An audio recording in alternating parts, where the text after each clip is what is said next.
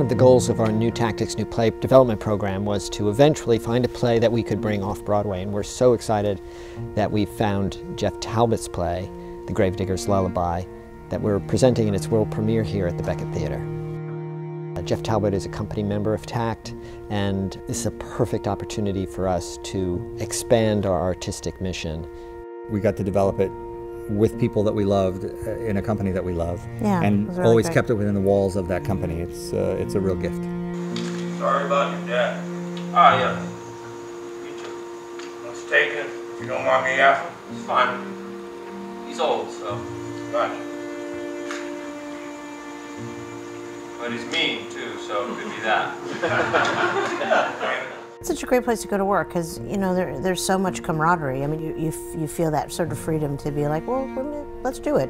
It, it might not make it better, Right. but let's find out. Don't drag me into your weird little. Gizzard, this is. I heard you. Standing right here. Charles offers his hand. Gizzard?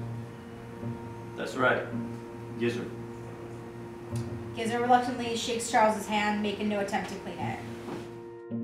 I play Balin, and uh, he's a real hard-working man. He's kind of on a downward spiral in his life.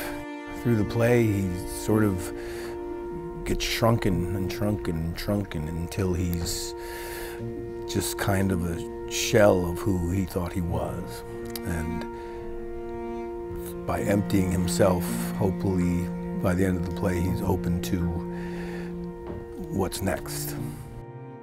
Some of the things that the play wants to talk about, the wealth gap, uh, marriage, are aren't aren't new things to talk about. But I think some of what some of the questions the play asks are framed in a different way. And my hope is that people leave engaged with the story and continue a conversation that the play wants to start.